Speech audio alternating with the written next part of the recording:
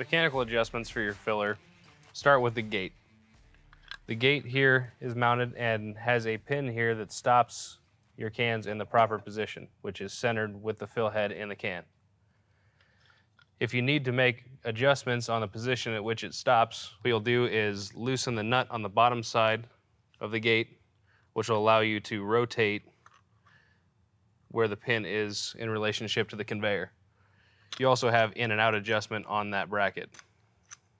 Once you find the place that allows the can to stop in the proper position, tighten that nut down and ensure that it hasn't moved.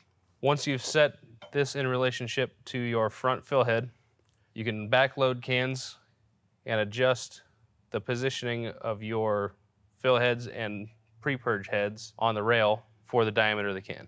To make this adjustment, you'll simply loosen the fill heads on each side as they're tied together and slide them on the rail to the proper position and then tighten the bolts back down. As you can see, we have this reversed here from what you're seeing inside of the filler. Concept doesn't change. This is your pre-purge or what's often referred to as can purge on the touchscreen.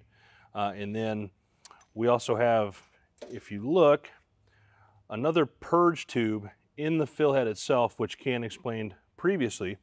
And uh, to my knowledge, we're the only canning line in the industry that has both the pre-purge and the fill purge. And the result of that, obviously, is some of the lowest, if not the lowest DO pickup performance in the industry.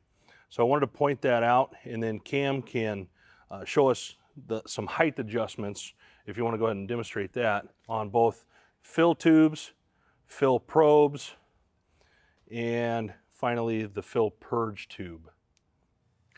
So to adjust your fill tube, you'll first lower the, the fill head down into the can. Uh, once you have that, you can adjust by loosening these thumb screws and you can adjust the height of the tube itself. The gap that you're looking for is an eighth of an inch from the bottom of this tube to the inside of the bottom of the can. So you should only be able to lift that can an eighth of an inch to come up and contact the bottom of the tube. That's through trial and error. Uh, years ago, we found that to be the most laminar flow um, and gave us uh, the most control over foam and, and some of those things. So if your tubes are too low or too high, you're going to receive a lot more breakout than you're looking for, and thus low fills. So if it's too low, it's like putting your thumb over a garden hose where you're creating a little bit too much velocity coming through a small orifice. If you're too high, it has too much velocity hitting the bottom of the can. The next adjustment you have is the height of your level probe. So if your level probe is too high, then you'll run out of adjustment or completely miss the liquid level in the can and it'll just sit there and spill and won't ever stop the fill. What you want to do is set this a little bit lower than you actually want your liquid level. That way it has time to delay before the shutoff. Setting this too low is better than setting it too high. Then the final adjustment we have is on the back side of your fill head, which is the height of this tube in relationship to the bottom of your fill tubes. You want roughly a quarter inch or quarter to half inch, basically as low as you can get with this tube in your adjustment. You'd loosen the set screw, set it, tighten down. And you'll notice the thumb screws for convenience, to, uh, just toolless adjustments, um, speed, efficiency.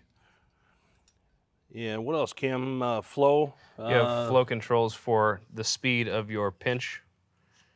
If you pinch these slower, you'll actually get more breakout because you are shoving it, that liquid through a smaller orifice for a split second if it's slow. If it's fast, it's a, a lower foam situation. So if you needed to create foam in, say, a lower carbonated beverage, you can slow the speed at which it closes and opens to create a little bit of breakout to reduce DO.